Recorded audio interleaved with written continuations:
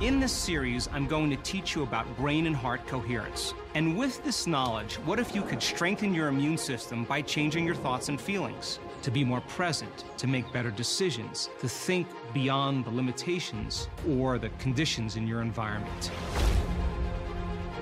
We're seeing common people around the world doing the uncommon, in a sense, becoming supernatural.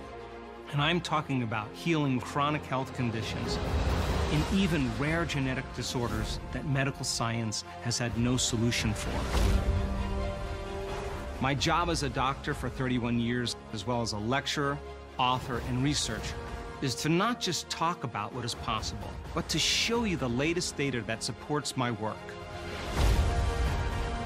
Your thoughts can have an effect on your brain, your body, and your life. I'm Dr. Joe Dispenza, and I'm going to show you how to rewire your mind, your heart, and your body with this all new series called Rewired.